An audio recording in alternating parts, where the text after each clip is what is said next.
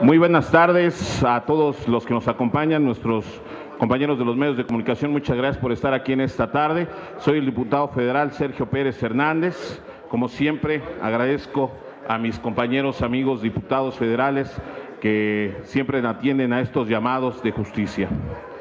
Hace exactamente una semana estuve aquí frente a todos ustedes exigiendo justicia para la familia de Fanny, para una menor desaparecida en la zona de Santiago Tianguistengo y alrededores.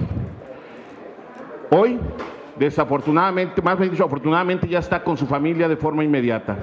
Pero hoy, desafortunadamente, la conferencia de prensa es para otro motivo lamentablemente triste para toda nuestra región, ya que los casos de desaparición que hemos tenido en la zona de Santiago Tianguistenco, Santa Cruz Atizapán, Almoloya del Río, eh, Ocuilan, Ocoyoacac, han ido en incremento de una manera alarmante.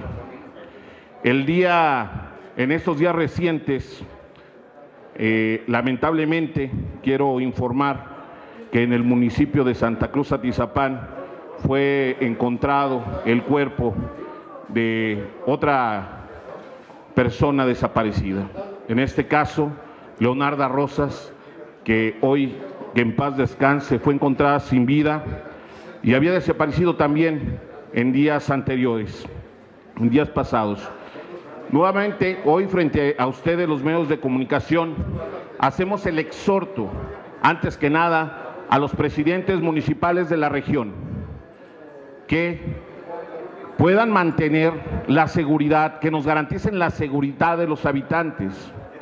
Y asimismo, también les pedimos que puedan estar al tanto y revisar todas esas cámaras que hoy se encuentran inservibles. Han ido en incremento, en incremento las denuncias de desaparición en toda la región, como ya se los habíamos comentado.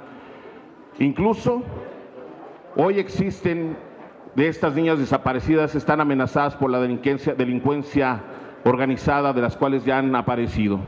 También exhortamos y exigimos al gobierno del Estado de México, así como a la Fiscalía General, de pronta atención a los nuevos eventos acontecidos eh, en estos municipios. Que no solamente manden patrullas, que no solamente hagan presencia. Lo que hoy requerimos realmente es de un trabajo de investigación porque hasta el momento no le han dado atención necesaria a las familias de las víctimas hoy desaparecidas. Eh, no vamos a descansar, se los comento, hasta que se escuche la voz de aquellos que atraviesan por este gran dolor. Mi más sentido pésame a la familia de de Leonarda, que lamentablemente hoy ya no está con nosotros. Aquí tenemos el exhorto que hemos firmado los compañeros del Estado de México, así como los compañeros de otros estados, a que el señor gobernador y el fiscal pongan atención realmente a este tema. Este, bueno, pues vamos a tener la intervención de otros compañeros, de mi compañero David Orihuela, que es el representante del Distrito 23. Adelante, compañero. Buenas tardes. Pues bueno, en el tema que nos aboca, exigimos justicia para estos casos de, inseguridad ahí en nuestra región. No, no podemos seguir permitiendo que se siga elevando este índice de desaparición de jóvenes que pues que son el futuro de, México. Como secretario de la Comisión de Justicia, hago ese exhorto al fiscal general de, Justicia del Estado de México y al señor gobernador para que esclarezcan pronto estos hechos y que se le dé respuesta a sus familiares, que aparezcan estas víctimas y que pues todos juntos podamos eh, aportar hasta, eh, hacia estos temas. Eh, estamos aquí juntos con el diputado Sergio para respaldar estas acciones, con los diputados del Estado de México, pues para que se tomen cartas en el asunto y que pronto se resuelvan estos asuntos que no pueden seguir pasando en nuestro Estado, en nuestra región. Muchas gracias. Gracias. ¿Alguien más este, va a pasar? Buenas tardes, tengan todos ustedes, los medios que nos acompañan. pues me sumo a la solicitud de exigirle al gobernador que nos haga caso, que ponga atención porque nos están robando y matando a lo que más queremos, a nuestras niñas. Desafortunadamente, en los 125 municipios que conforman el Estado de México tenemos casos. La semana pasada, en, Ciudad de Nezahualcóyotl, hubo la desaparición de una niña. Afortunadamente la encontraron en la Ciudad de México. En la Ciudad de México siguen un protocolo que en el Estado de México ni siquiera lo han de conocer. Ahí la mamá se le notificó que ya estaba su niña y ella fue inmediatamente creyendo que ya se la iban a dar. Ahí pues no se la entregaron, estuvo en custodia hasta que se aclarara y se viera por qué la niña había desaparecido de su hogar. Entonces ya no es una solicitud, es una exigencia al gobernador del Mazo para que voltee y trabaje realmente en una situación que es muy delicada y que nos duele mucho como sociedad. Gracias.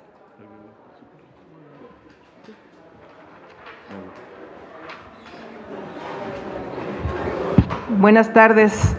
También eh, me sumo al exhorto del diputado Sergio Pérez Hernández y decirle nada más que no es posible que este tipo de casos nos mantenga el Estado de México. Yo vengo del municipio de Catepec, el municipio de Catepec, donde tenemos la más alta tasa de desaparición, también tenemos feminicidios, aunque en las cifras oficiales aparentemente están disminuyendo, pues no es así. Cada día tenemos más, sin embargo, las cifras oficiales dicen que ya vamos eh, hacia atrás, que, no, no, se pueden dictaminar casos de feminicidio y los declaran como de muerte natural. Entonces, sí nos sumamos a esta exigencia y exigirle al gobernador del Estado de México que ya ponga a trabajar realmente la logística para que en nuestros municipios del Estado de México no sigan sucediendo las desapariciones, secuestros y en este caso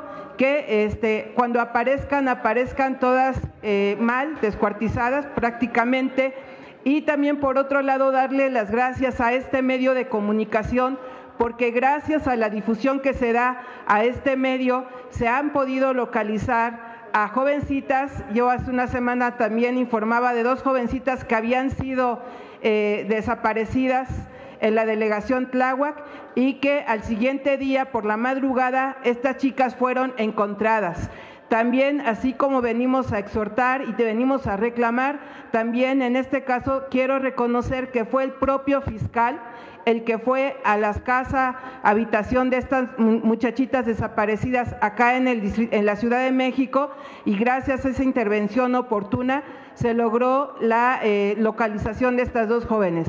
Así como también exigimos, eh, también tenemos que dar el reconocimiento en este caso a la actuación del fiscal que actuó personalmente, pero fundamentalmente darle las gracias a este medio porque fue gracias a este medio que se logró la movilización de quienes tenían que activar en este caso y esperemos que en esta ocasión también este medio nos siga ayudando para la pronta activación de las fiscalías del gobernador del Estado de México y donde sea necesario lo vamos a seguir denunciando. Muchas gracias, compañero diputado Sergio Pérez.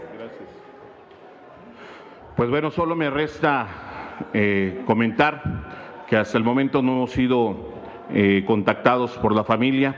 Le pediremos a la familia de Leonarda que de forma inmediata pueda acercarse con nosotros para dar seguimiento a este reclamo de justicia a este reclamo, como todos los ciudadanos lo tenemos y lo, tenemos que hacer.